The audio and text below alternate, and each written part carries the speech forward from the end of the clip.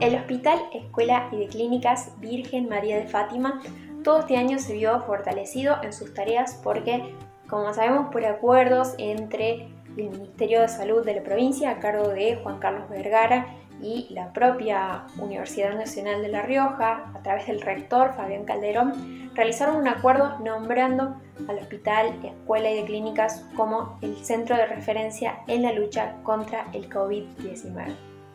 Los trabajadores de la institución,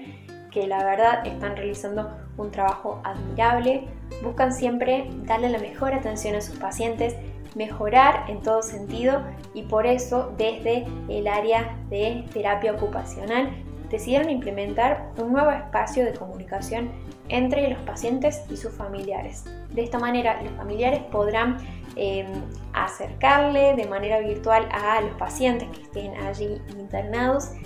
textos, cartas, fotografías que de alguna manera permitan fortalecerlos, hacerlos sentir mejor en esta difícil situación que se vive.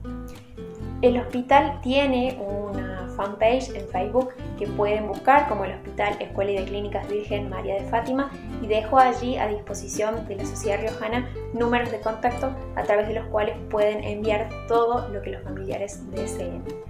El hospital, entonces, como venimos diciendo, se está fortaleciendo cada vez más, está apostando a un futuro, pensando en el después de la pandemia, pensando en las actividades que se vienen, en su, en su inserción en una red de salud pública y en fortalecerse tanto desde la universidad como desde el Ministerio de Salud de la provincia.